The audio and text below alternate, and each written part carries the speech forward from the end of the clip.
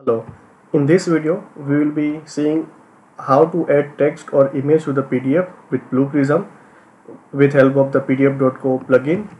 So I have created this action on the base of this pdf.co API pdf slash edit slash add and as it is apparent in the body uh, the parameters contains like the out output name and the URL of the PDF on which this process need to be performed. Then these two parameters annotation string and the image string represent the text field to be added and the image field to images to be added respectively. If we look into the structure of this data we can find that uh, first two parameters are the x and y coordinates where text need to be added then next parameter is the number of pages or on the which page this text need to be added.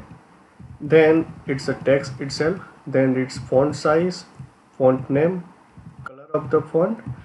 Then it's a url for example on the click of this text we want to open any url we can provide here and the last parameter represent whether this text annotation is transparent or not.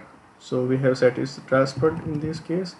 And for the image parameter first two parameters represent the x and y coordinate. Then it is representing number of pages or the on which page number this image need to be added. Then it is the url of the image itself. And if we want to add more than one images we can separate them by the pipe character. Same thing which goes with the annotation also. If we want to have more than one text objects added in the PDF we can configure so by using the pipe separated. And last thing let us see this input URL and try to see how it is looking so it's a PDF with the three pages. And let us see this in action. So I am in the blue prism studio and let me drag and drop action here. And let us configure this.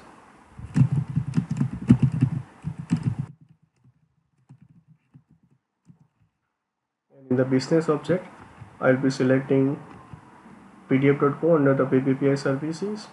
And yeah we have the correct action. Let me copy and paste URL here. Here we go. And for the annotation string let me also copy and paste this annotation.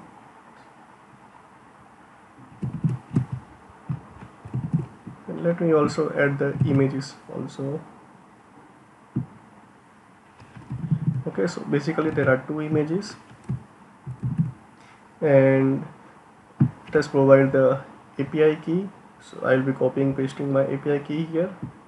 Okay so we have configured all the input actions. Now let us configure the output also.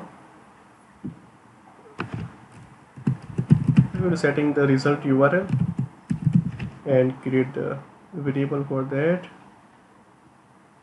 And I think we are good to go. Okay so let me link this up. And we are ready for the execution.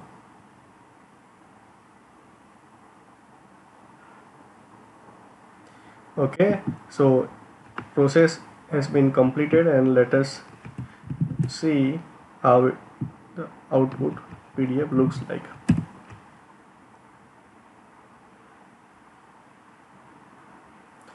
Okay, so this is the text which we set and these are the two images which we have set and on click of the image it is redirecting me to the pdf.co website which we have set it and the same thing will go on the whole pages because we have configured this to be added on the all the pages.